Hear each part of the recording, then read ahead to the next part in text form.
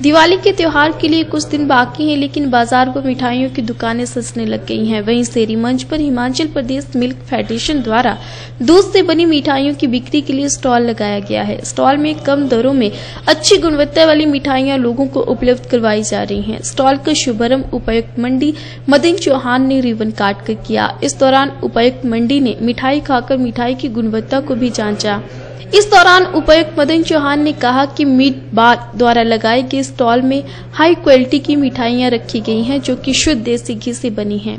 आज मुझे ये बताते हुए बड़ी खुशी हो रही है कि मिल्क फेडरेशन जो कि गवर्नमेंट ऑफ़ हिमाचल प्रदेश की एक कॉरपोरेशन है ने यहाँ मंडी में मेन मार्केट के अंदर एक शॉप का जो है वो उद्घाटन किया है। आ, मैं आपको ये बताना चाहता हूँ कि ये हिमाचल में बहुत शुद्ध मिठाइयाँ बनाते हैं।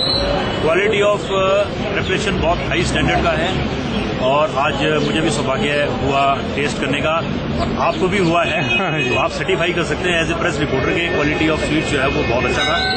मैं सभी मंडी वासियों को बधाई देता हूँ। दिवाली का पर्व आने वाला है और हम सभी लोग जो है मिठाइयाँ खरीदते हैं। और आप इस मिल्क फैट का जो यहाँ पे एक सेल शॉप बना है, यहाँ से आप मिठाइयों की खूब खरीदारी करें। आप भी खाइए और अपने मित्रों को भी खिलाइए।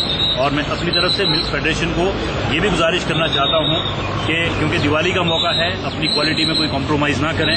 क्योंकि कई बार हमें बिज़नेस एथिक्स में ऐसा होता है कि सेल हो रही है तो चलो कॉम्प्रोमाइज़ तो मैं उम्मीद करता हूँ और मुझे पूर्ण आशा है कि ये कोई कॉम्प्रोमाइज़ नहीं करेंगे और बेस्ट क्वालिटी स्वीट जो है यहाँ के नागरिकों को उपलब्ध करवाएँगे।